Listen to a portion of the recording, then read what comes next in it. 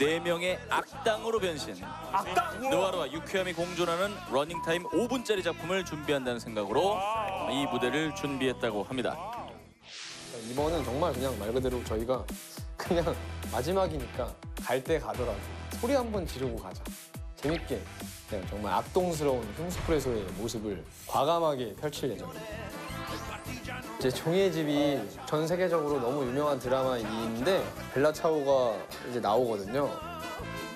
이탈리아 국민들이라면은 거의 모두가 이 노래를 알고 있어요. 그건 맞, 맞아요. 네. 프랑스도 심지어. 정말요. 근데 확실하게 말할 수 있는 거는 전 세계 벨라 차오 버전이 진짜 많거든요.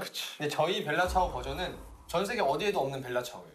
저희 이번 아. 비장의 무게는요. 이동신이에요, 맞아. 이름이 정말 이동 신이잖아요. 무브 신.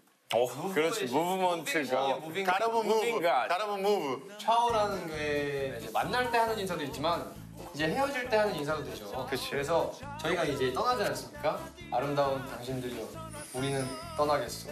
잘들 계시게나.